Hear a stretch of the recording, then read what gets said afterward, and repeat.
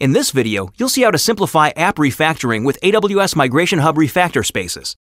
With this feature, you can quickly set up an infrastructure for refactoring, rewriting, and re-architecting apps. Operate these apps at scale regardless of app changes, and focus on delivering value from refactoring without having to create the environment. To get started, let's navigate to AWS Migration Hub and open Refactor Spaces. AWS Migration Hub Refactor Spaces is the starting point for incremental application refactoring to microservices.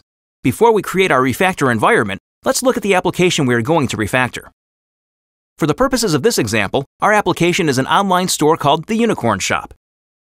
The Unicorn Shop is a typical monolithic application, and we'd like to break out two pieces of key functionality. The first is the catalog of products for sale. The second is the shopping cart. We want these two services to be independent of each other for scalability and development purposes. Let's go back to refactor spaces and create an environment. An environment is a multi-account network fabric consisting of peered VPCs. We'll call this environment UniShop. We'll call our application Unicorn Store. Next, we'll select the application's proxy VPC. The proxy lets the front end application use a single endpoint to contact multiple services. If an application is made up of multiple AWS accounts, we can share the refactor environment and its application with other AWS principals. Refactor Spaces then sets up the networking fabric that allows those services to communicate seamlessly. In this case, let's move on and create the environment.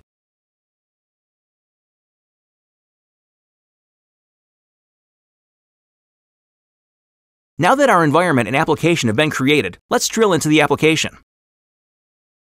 The first thing we want to do is create a proxy that will pass through to the existing monolith. To do that, let's create a service. We'll call it Legacy. Next, we'll select the VPC where our current service resides and specify the existing service endpoint. Now we'll set this as the application's default route and create the service. We've created our proxy, but our default route is simply routing traffic straight through our monolithic application as before. Let's return to the application. The development team for the Unicorn Store has been busy refactoring out the application's catalog and shopping cart capabilities. The new microservices were deployed into our serverless container service, Amazon ECS on AWS Fargate. Let's navigate to Amazon Elastic Container Service, or Amazon ECS, and take a look.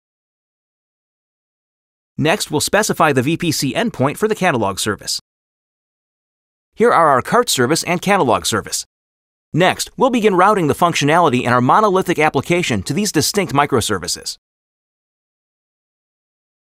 Before we do that, let's quickly define what we mean by microservices and monolith. In this context, our Unicorn Store is a legacy monolith application where all the functionality and components are tied together and thus must be deployed together. As part of this demonstration, we're splitting out key components of this legacy monolith and creating independently deployable microservices so that we're able to easily scale those individual components as needed. To create these microservices, let's go back to refactor spaces to start the process. We'll call this one Catalog Service. Let's select a VPC to add to the environment's network bridge. Let's also add a health check endpoint for this service.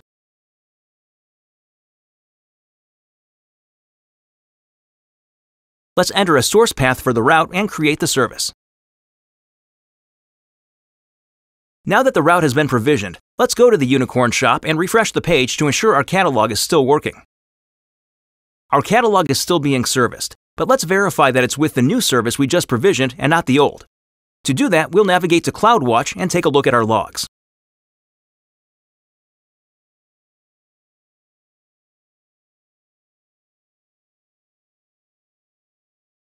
Let's find the latest log.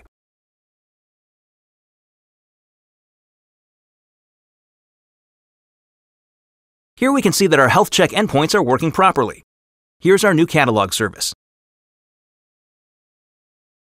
We see that it issued a request to the database to get all unicorns. The response has been written here and completed. Now that we've confirmed that our catalog is using our new microservice, let's go back to refactor spaces. Next, let's get our Unicorn store to leverage our new microservice for the shopping cart functionality. Let's create another service. We'll call this one Cart Service. Let's specify the VPC endpoint and health check endpoint.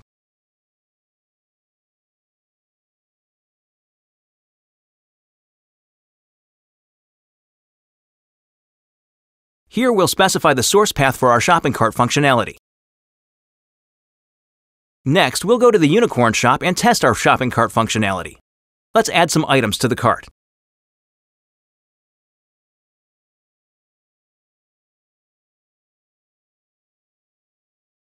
The items have appeared in the cart.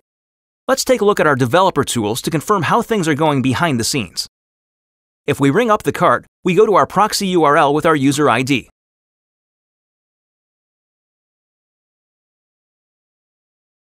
Once again, it's not apparent where this request is being serviced. We can inspect the CloudWatch logs again, but instead let's try to find the relevant entries in our database, Amazon DynamoDB. This entry should correspond to our user ID. Here are the two unicorns we added to the cart. There's the ID for one unicorn. Here's the ID for the other unicorn.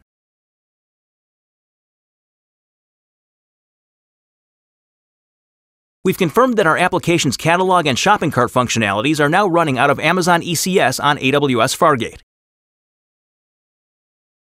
we were able to move the traffic from our monolithic application into these new microservices without having to configure any networking infrastructure and while keeping the architecture changes transparent to app consumers.